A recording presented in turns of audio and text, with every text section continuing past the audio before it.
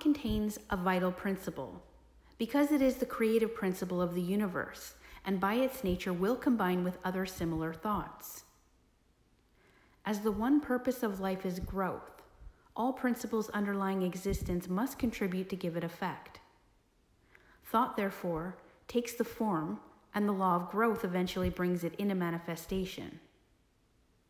You may freely choose what you think, but the result of your thought is governed by an immutable law. Any line of thought persisted in cannot fail to produce its result in character, health, and circumstances of the individual. Methods whereby we can substitute habits of constructive thinking for those which we have found produce only undesirable effects are therefore of primary importance.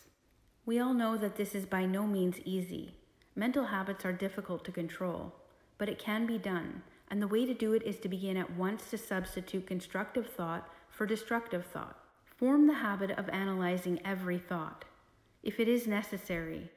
If its manifestation in the objective will be a benefit not only to yourself, but to all whom it may affect in any way, keep it, treasure it. It is of value. It is in tune with the infinite.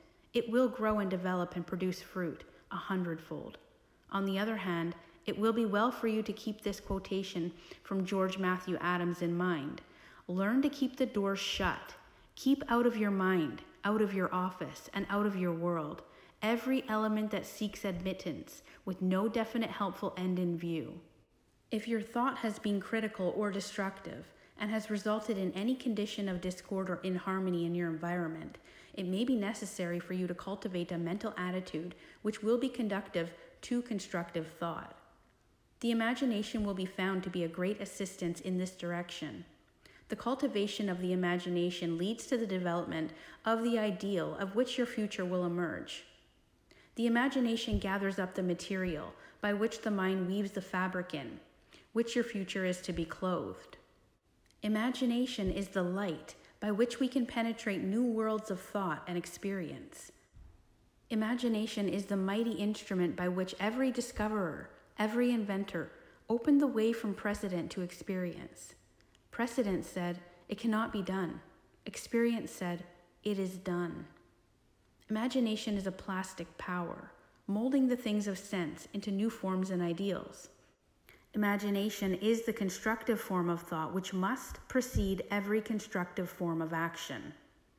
A builder cannot build a structure of any kind until he has first received the plans from the architect and the architect must get them from his imagination.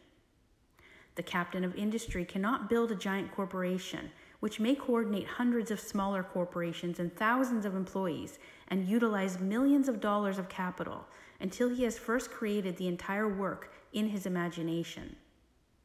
Objects in the material world are as clay in the potter's hand. It is in the master mind that the real things are created and it is by the use of the imagination that the work is done. In order to cultivate the imagination, it must be exercised. Exercise is necessary to cultivate mental muscle as well as physical muscle. It must be supplied with nourishment or it cannot grow. Do not confuse imagination with fancy or that form of daydreaming in which some people like to indulge. Daydreaming is a form of mental dissipation, which may lead to mental disaster. Constructive imagination means mental labor, by some considered to be the hardest kind of labor, but if so, it yields the greatest returns, for all the great things in life have come to men and women who had the capacity to think, to imagine, and to make their dreams come true. When you have become thoroughly conscious of the fact that mind is the only creative principle, that it is omnipotent, omniscient, and omnipresent, and that you can consciously come into harmony with this omnipotence through your power of thought, you will have taken a long step in the right direction. The next step is to place yourself in position to receive this power. As it is omnipresent, it must be within you. We know that this is so because we know that all power is from within, but it must be developed, unfolded, cultivated, in order to do this, we must be receptive, and receptivity is acquired just as physical strength is gained by exercise. The law of attraction will certainly and unerringly bring to you the conditions, environment, and experiences in life corresponding with your habitual, characteristic, predominant mental attitude. Not what you think once in a while while you're at church or have just read a good book, but your predominant mental attitude is what counts. You cannot entertain weak, harmful, and negative thoughts 10 hours a day and expect to bring about beautiful, strong, and harmonious conditions by 10 minutes of strong, positive, creative thought.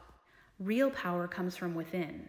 All power that anybody can possibly use is within man, only waiting to be brought into visibility by first recognizing it and then affirming it as his, working it into his consciousness until he becomes one with it. People say that they desire abundant life, and so they do. But so many interpret this to mean that if they will exercise their muscles or breathe scientifically, eat certain foods in certain ways, drink so many glasses of water every day of just a certain temperature, keep out of drafts, they will attain the abundant life they seek. The result of such method is but indifferent. However, when man awakens to the truth and affirms his oneness with all life, he finds that he takes on the clear eye, the elastic step, the vigor of youth. He finds that he had discovered the source of all power. All mistakes are but the mistakes of ignorance. Knowledge gaining and consequent power is what determines growth and evolution. The recognition of demonstration of knowledge is what constitutes power, and this power is spiritual power. And this spiritual power is the power which lies in the heart of all things. It is the soul of the universe. This knowledge is the result of man's ability to think. Thought is therefore the germ of man's conscious evolution.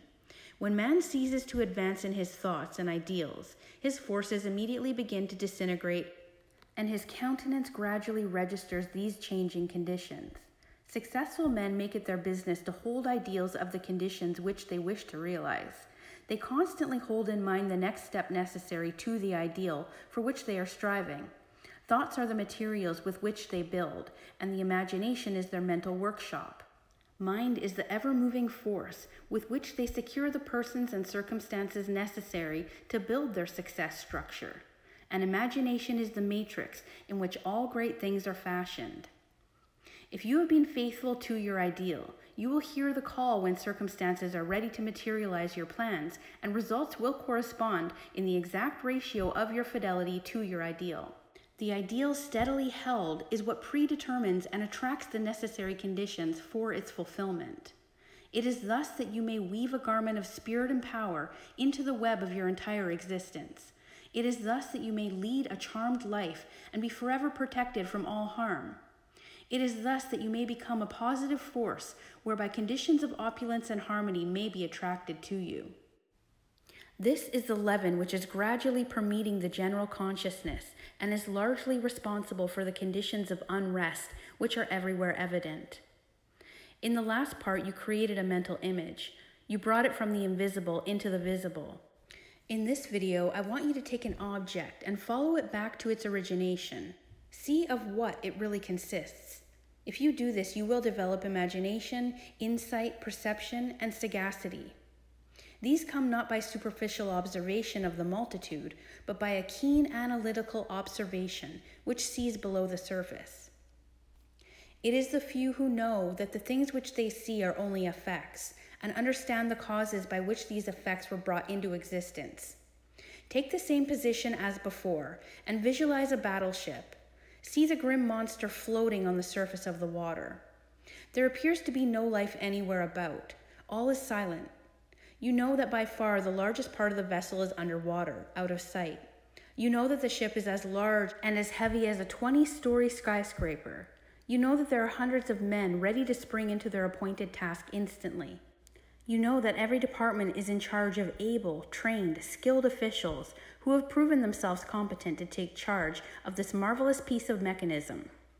You know that although it lies apparently oblivious to everything else, it has eyes which see everything for miles around, and nothing is permitted to escape its watchful vision.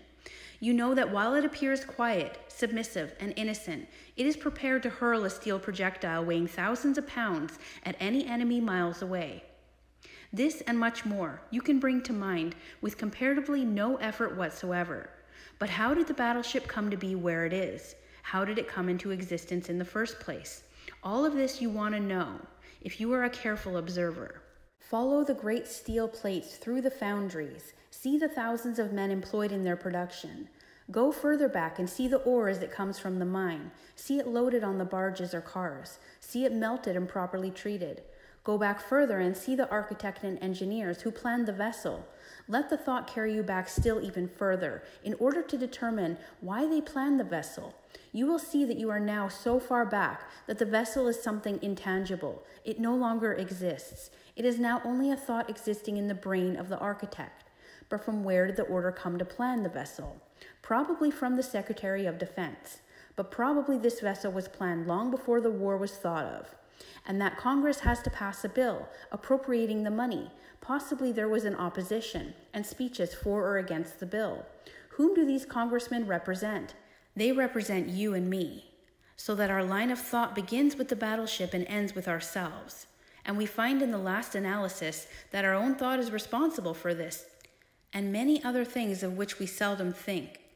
And a little further reflection will develop the most important fact of all, and that is if someone had not discovered the law by which this tremendous mass of steel and iron could be made to float upon the water, instead of immediately going to the bottom, the battleship could not have come into existence at all. This law is that the specific gravity of any substance is the weight of any volume of it compared with an equal volume of water.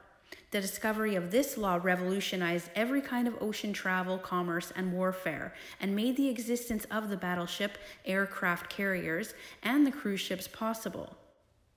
You will find exercises of this kind invaluable. When the thought has been trained to look below the surface, everything takes on a different appearance.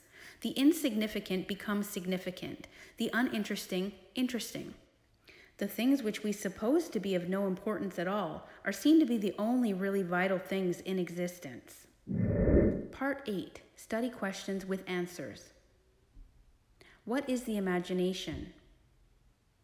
The imagination is a form of constructive thought, the light by which we penetrate new worlds of thought and experience, the mighty instrument by which every inventor or discoverer opened the way from precedent to experience.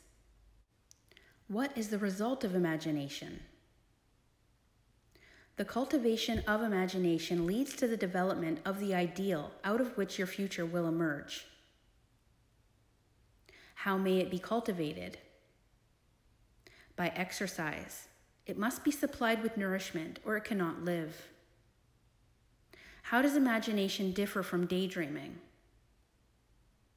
Daydreaming is a form of mental dissipation while imagination is a form of constructive thought, which must precede every constructive action.